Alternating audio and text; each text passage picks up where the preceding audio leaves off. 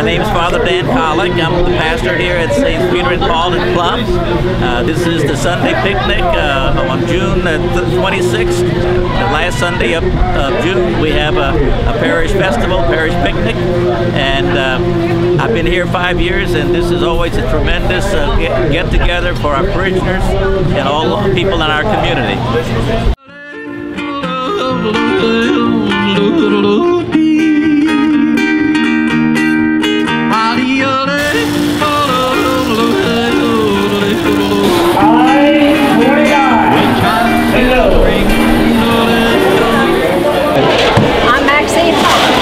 And I'm Mickey Sheepa. Uh, we have been doing this next year will be our 120th year.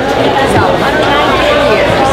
Yeah, 120 years we've been making homemade plum sausage. Uh, it's a combination of beef and pork. And uh, this year we made about 3,200 pounds. And uh, we're feeding about 1,800 people. And we're also making homemade chicken fried chicken fried chicken. And uh, we're frying a little over 2,000 pounds. Well, moonbeams were shining, perfume filled the air. Night birds were singing as I kissed her there. Each little star just twinkled with glee while heaven shined down on me. I'm Melvin James. I've been here approximately 30 years.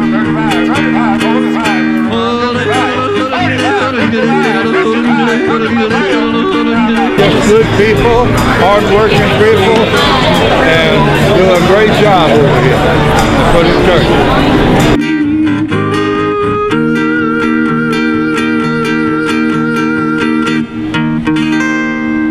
Chime bell.